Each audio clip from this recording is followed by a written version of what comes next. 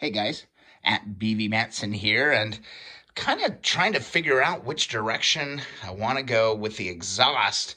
And I thought it would be a great opportunity to talk about a couple of the differences that you may run into on your CB or CL 350 header pipes. Okay, there's some differences, and uh, I want to go through those today. Now, I've got two sets of CL. Well, I've got kind of. I've got like one and three quarters sets of CL pipes, but it doesn't matter because we're really only going to be talking about these areas on the pipes. So let's get to it.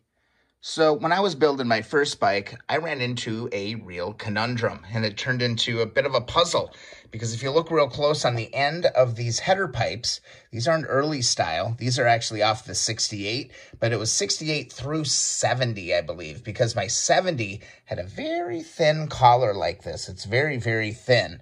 And then if you go a little bit newer, can see that they really beefed up the ends of these pipes.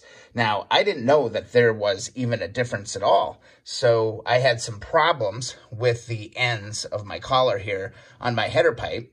And uh, I just ordered some other ones and they came like this.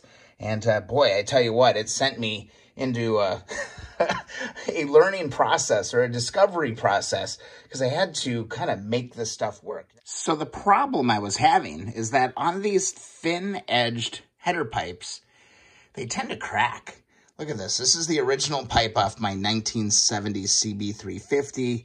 See how close I can get here, but you can see that the pipe actually cracked. You got, it, it just, they fall apart. And I've seen a few of them this way um, on the bikes that I've been working on. So that was the problem. And I had to replace the header pipes, all right? So I just, you know, found a source and I ordered some header pipes, not knowing about this huge difference. But the reason why these are thicker is because I think they beefed these up because these were literally just breaking. They, they would crack there. So on later models, they just started beefing those end collar or the, the ends of the pipes up. So you didn't have that problem. Just, uh, a little nuance to pay attention to. Man, I remember being freaked out when I found these cracks in these pipes. One of the interesting things that I didn't know is that inside of here, we've got our collars, right?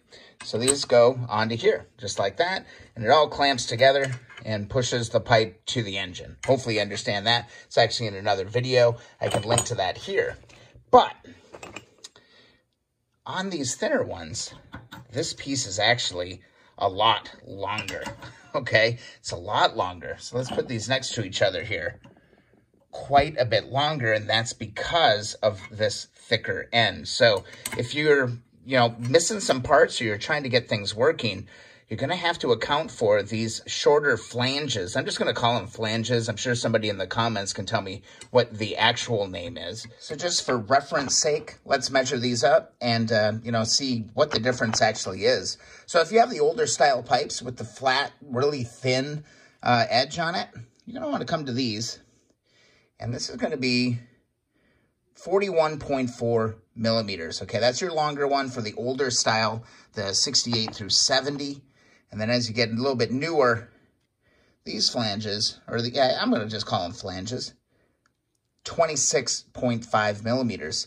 That's a pretty big difference when you're trying to get this stuff to all pull together and go onto that engine. So a good reference for everybody. Um, you want the shorter ones if you got the newer pipes, the longer ones if you got the older ones.